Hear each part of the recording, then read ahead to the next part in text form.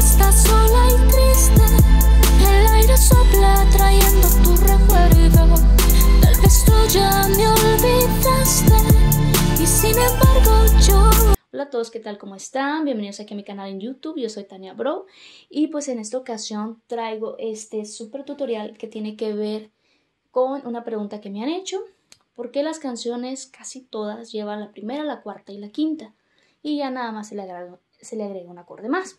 Y bueno, pues para esto tenemos que primero conocer un poco la estructura armónica. Bueno, voy a poner este ejemplo, pero esto funciona para cualquier escala. Eh, las canciones populares están estructuradas, primero que nada, la gran, gran mayoría en una escala mayor o una escala menor. Estas son las dos escalas. Las dos escalas, perdón. De estas dos, la escala mayor básicamente la relativa, es decir, todas las, todas las escalas menor van a recaer en esta. Entonces, si ya sabemos que recaen en esta, básicamente podemos borrar esto. Y esto es lo único que tenemos que saber, la escala mayor. Todas las canciones van a caer en una escala mayor porque, por ejemplo, el Do, la escala de Do es igual a la escala de La menor. ¿Ok? Entonces los acordes de la menor son iguales a los acordes de Do, simplemente que están eh, en otro orden. Por ejemplo, Do, Re, Mi, Fa, Sol, La. Y si, ¿no? Si disminuido, este se vuelve menor, segunda menor, Fa y menor, ¿verdad? Y si vamos al contrario, La menor, Si disminuido, Do, Re, Mi menor, Fa y Sol. Esa sería la escala de La. La escala de La menor y la escala de Do, si se fijan, son los mismos acordes. ¿Ok? Entonces lo mismo pasaría para las demás escalas. O sea, para las demás escalas menor serían, tendrían una relativa, es decir, todas serían igual a la escala mayor. Entonces esto es lo que tendríamos que aprender principalmente y nada más saber cuál es la relativa menor para no tener que aprender un montón de escalas, ¿no? O sea, realmente solo necesitamos 12 escalas, de las cuales utilizamos el mayor del tiempo escalas más sencillas como la escala de Do. Bueno, ya sabiendo eso, sabiendo lo de las escalas y eso, eh, nada más es para tener una idea. Digamos que yo elijo una de esas, una de esas escalas y elijo la de escala Do, que es la más sencilla, y pongo este ejemplo. Esta es la estructura del, acorde de Do, Do, Mi y Sol, primera, tercera y quinta. La estructura del acorde de Fa, Fa, La, Do. La estructura del acorde de Sol, Sol, Si, Re. Ahora, si me voy a los acordes, por ejemplo, el segundo grado, que es Re menor, es Re, Fa y La. La estructura del acorde de Mi menor, Mi, Sol, Si. Y la estructura del acorde de La menor, A, Do y Mi. Básicamente estamos hablando de esto. Primer grado, segundo grado,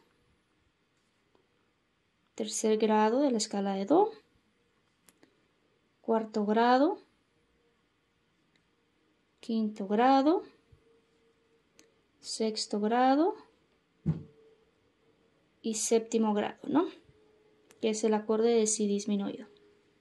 ¿Ok? Ahí tengo mis siete grados. Ahora, los he puesto en esta forma porque es mucho más fácil de visualizar. Ahora, ¿por qué las canciones llevan primera, cuarta y quinta? Esta es la razón. Porque solo tienen una nota en común. Eh, por ejemplo, del Do comparado con el Fa, solo tienen la nota de Do. Si comparamos al Fa con el Sol, de hecho no tienen ninguna nota en común. Si comparamos al primer grado con el quinto, solo tienen la nota de Sol. Y bueno, ustedes dirán, bueno, ¿y eso qué? Si comparamos los otros grados de la escala, nos vamos a dar cuenta que el grado 2 va a tener eh, dos notas en común con otro acorde, que es su cuarta, que es la cuarta, que es Fa. Si nos fijamos aquí, tenemos Fa y La, Fa y La. Esas son las dos notas que comparte el Re menor con el Fa. Entonces, si estamos tocando una canción, bien podríamos sustituir el acorde Re menor con un Fa. ¿Ok? Y, por ejemplo, el Mi menor va a tener dos notas en común con Sol.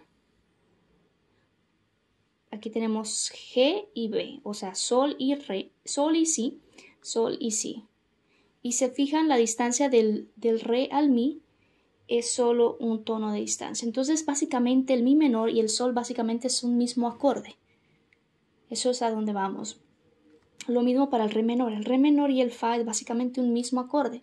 Cambia solo una nota que en, realidad está a una distancia del do del re, que es la nota que no tienen en común, está a un, tono. Y las demás notas son las mismas. Entonces realmente es casi como si fueran lo mismo. Entonces para la menor vamos a, vamos a ver que va a tener en común con el primer grado, va a tener do y mi en común. Do y mi y del sol a la solo hay un tono de distancia. Entonces se fijan, hay una gran matemática en cuanto a la distancia de los acordes entre las notas, ¿no? Lo que construye un acorde. Eh, ya no analicé el, el séptimo grado porque realmente es disminuido y casi no lo utilizamos, al menos no en la música popular. Entonces, para resumir, la razón por la cual se utiliza la primera, la cuarta y la quinta es porque sus notas no se repiten.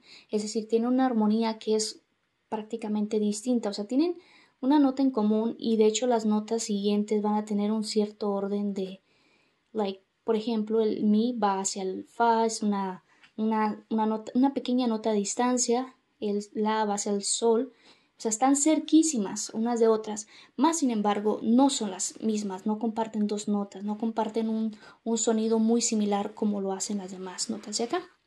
Entonces, básicamente nosotros podríamos omitir estas y simplemente utilizar esto para construir canciones. Más sin embargo, para darle más creatividad, se suelen utilizar una de estas tres para añadirle a estas tres. ¿Ok? Eh, entonces, esa es la razón por la cual eh, se utiliza la primera, la cuarta y la quinta. Y de hecho solo tenemos básicamente seis opciones para elegir al momento de construir canciones. Eh, a veces con la escala menor pues se juega con otros, otros grados porque los sonidos son diferentes. Pero en, la escala, en la escala mayor este vendría a ser el ejemplo más, más sencillo de explicar. Por ejemplo, este es mi acorde de Do y Do y La menor comparten dos notas. Do,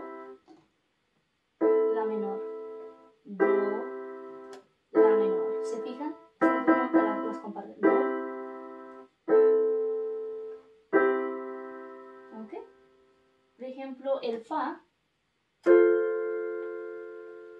y el Re menor. Perdón, Fa, Re menor. Tienen dos notas en común. Y por ejemplo, el Mi menor con el Sol. Mi menor, Sol, Mi menor, Sol. Comparten dos notas en común. Pero si, si nos fijamos, Do, Fa, son distintos los sonidos.